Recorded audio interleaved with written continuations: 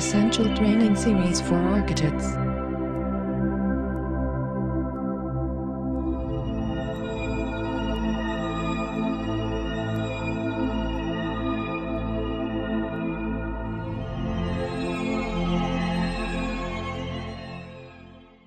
In this tutorial, we will focus on interior rendering. The lighting looks good from the outside and has a realistic appearance. But if we zoom to the inside of the room, you will notice it is dark and has some areas with little to no light reaching it.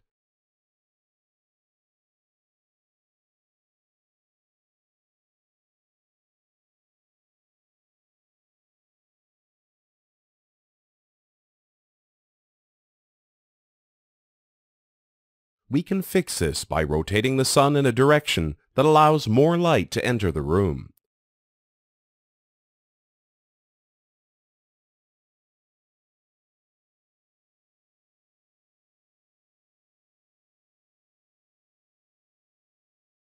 Start the real-time rendering to see the result. Now it is good. More light rays are entering the room, but they are parallel with the room walls, so I am going to change the horizontal position to get a better artistic look.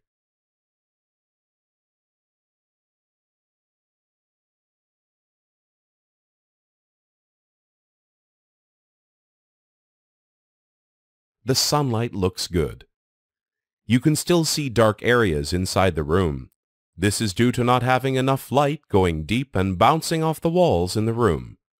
This is where we can use a light portal Light Portal's main function is to intensify the sun and skylight in an area and allow the light rays to bounce in just a specific area, unlike the usual case, where lights bounce throughout the whole scene. This means that we can force sun and skylight to go inside our interior shot instead of lighting the whole scene. Go to the interior workbench and then to portals. You can see we have two options. The first allows us to create a new light portal and add it to the scene, and the other transforms a window or a glass door to a light portal.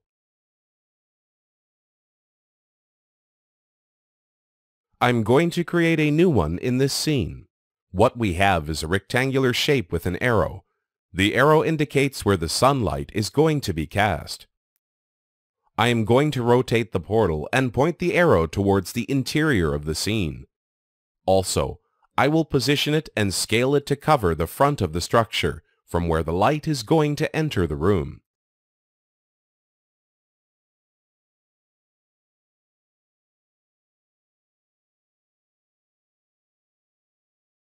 This looks good. Next step is activating the interior renderer, which allows the light portal to function.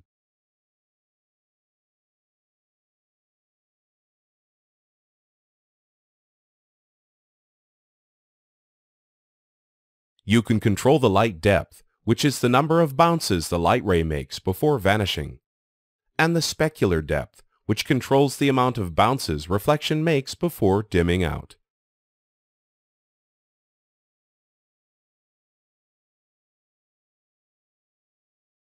Let us render the scene now and have a look at the result we have. You can see how the deep areas now have better lighting just by placing a light portal. Zooming out shows the actual effect of the light portal. See how the area in front of the light portal has all the light rays focused on it, while the other areas have almost no light rays bouncing off it.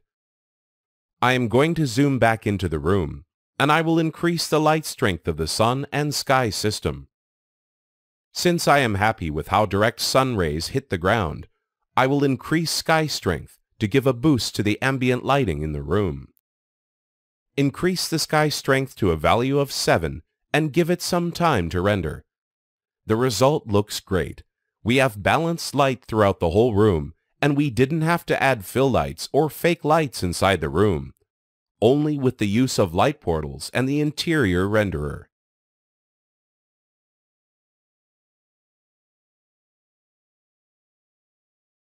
Additional optional controls over your light are available in the Image Effects tab. You can see two controls to your left, gamma and brightness. You can tweak your render by moving those sliders. Note that they are post-processing functions. They will not affect the rendering process, so you can change them while rendering without interrupting the rendering process.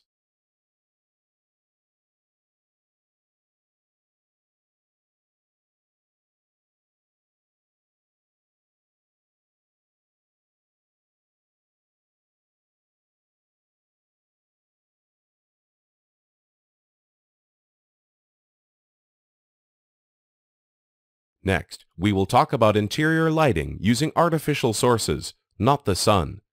Say we want to render this room with lighting set to night lighting. First, we go to our Environments tab and click on Sun. Since it's nighttime, we won't need to render a solar disk, so let us just disable that. Also, drop the strength of the sun to zero. Drop the value of sky strength. Go to Albedo and change the color to a purple-blue hue and drop the value to a low 30.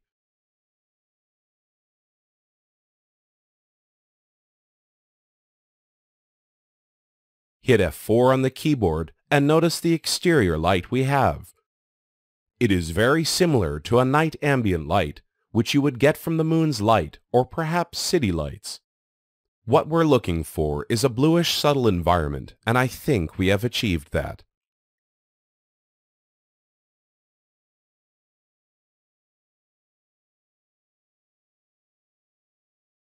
If we examine the ceiling in this room, we can see that there are spotlights installed.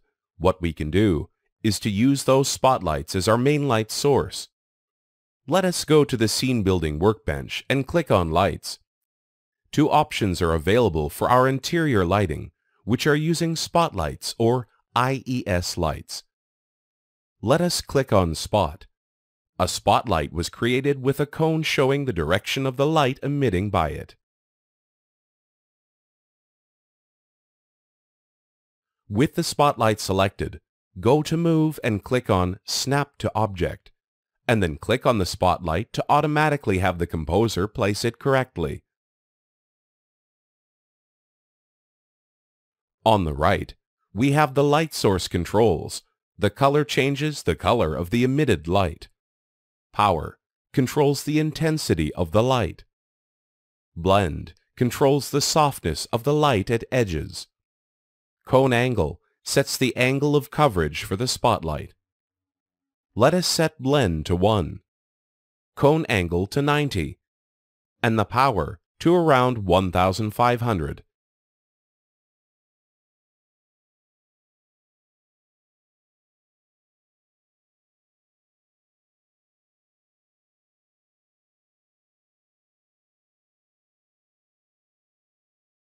It is dark,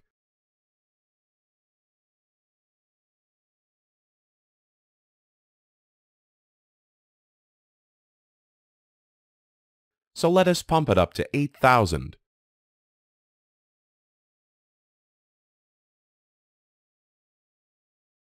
We now have a sufficient amount of light coming from this source.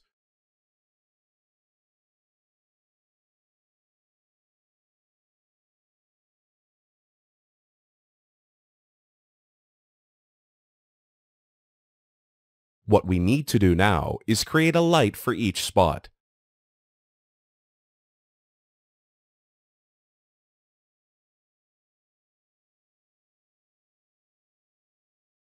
We can go to Object with our light selected and click on Copy. This would create an independent light source, but if we click Instance, it would create a replica of our light source sharing the same attributes as our original light source. Let us delete the copied light and create an instance instead.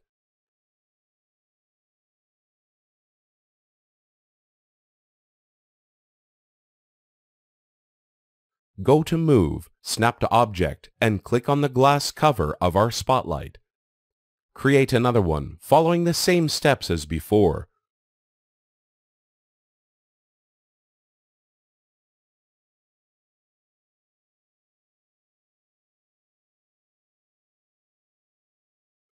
Now notice that if I change the power of any of those lights, the other lights will have the same change applied to them.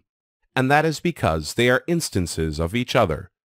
This will save you in case you need to change any attribute for the light, and instead of going to each light individually and changing its value, you can change the value of one instance, and the changes will be applied to all the other instances connected to it.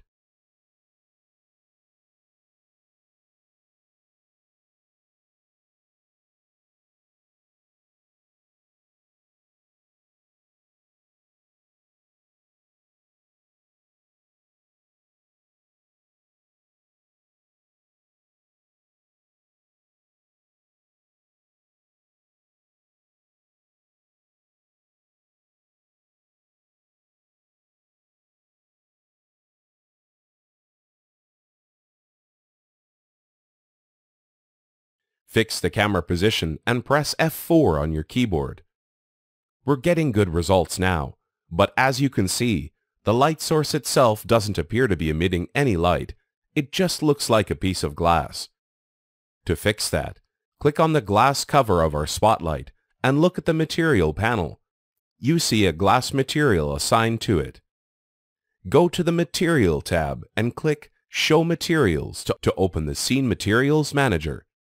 With the glass surface selected, click on Selected Objects in the Scene Materials window to display the material for this object.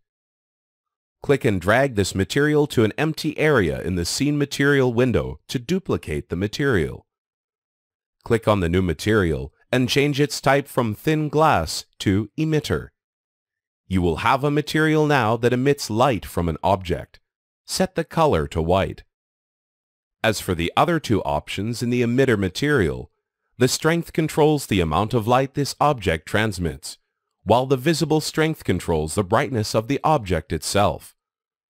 Let us set the value for both attributes to 10. Now, I need to apply this material to all the spotlight's covers. Hold Control on your PC keyboard or Command on Mac and select all the glass covers. Once you have them all selected, right-click on your new material and choose Apply.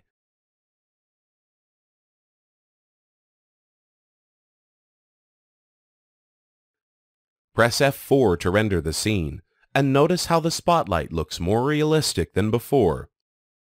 Let me go to my camera and just increase the field of view a bit to get a better camera coverage.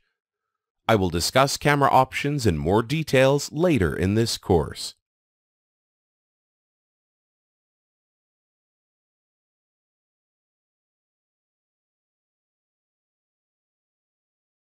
The result we have now is pretty good. The interior renderer is doing its job and eliminating dark areas by bouncing the light multiple times. My only concern would be the shape of the lights. It looks good, but slightly boring. What we can do is use IES lights instead of the regular spotlights.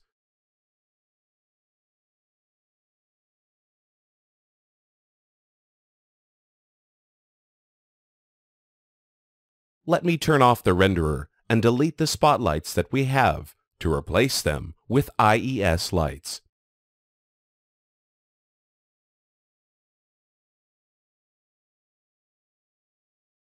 As shown in the IES library, we have a massive collection of IES light shapes that we can choose from. Click on IES light to create one and place it.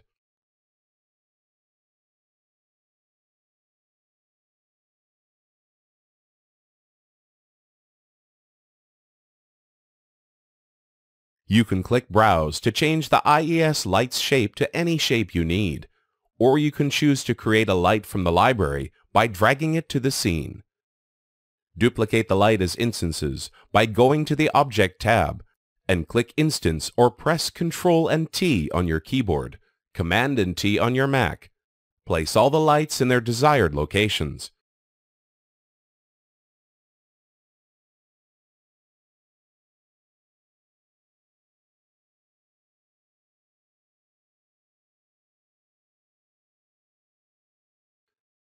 Set the value to a 150, and press F4 to render the scene. It looks good, and it has a better shape. You can experiment with the light shape and choose the best option for the scene.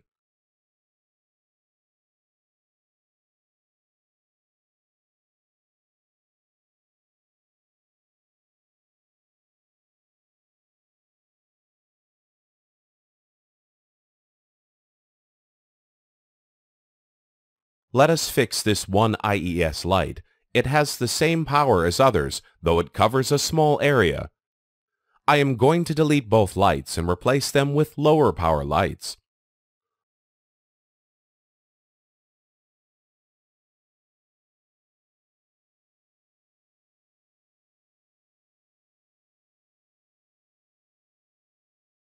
Let us try 30 for power.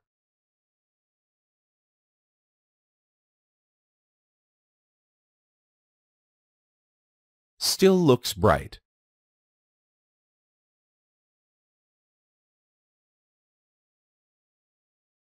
Try 5.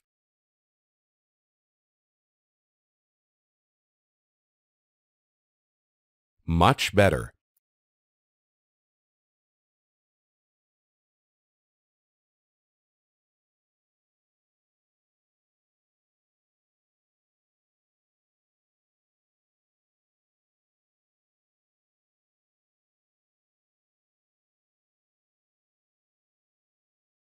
I am going to lock the view so that any changes won't interrupt the render. Go to Render, Image Effects. From this tab, I can apply multiple post-processing effects. We have the gamma and brightness controls as we mentioned earlier.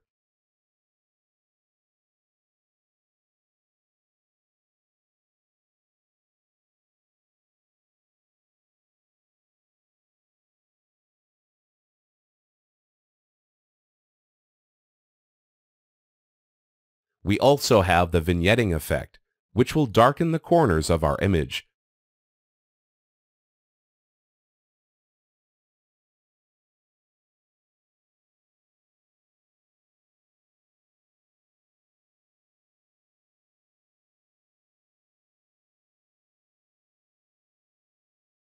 Grayscale, which removes hue values and displays the render in black and white. Edges, as you can see, creates a sketchy look. Blooming polishes the render and brings out the highlights in it. It has a blur radius control.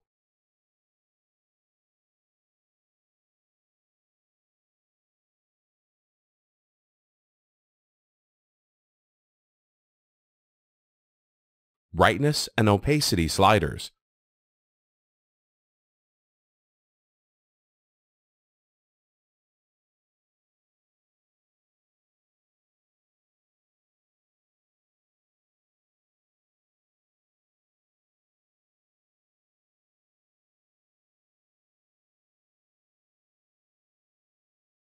The last three effects controls the mood of the image. Cool Effects tints the color towards blue. Warm Effect tints them towards a yellow-red hue. And finally, the saturation controls the color saturation in your image.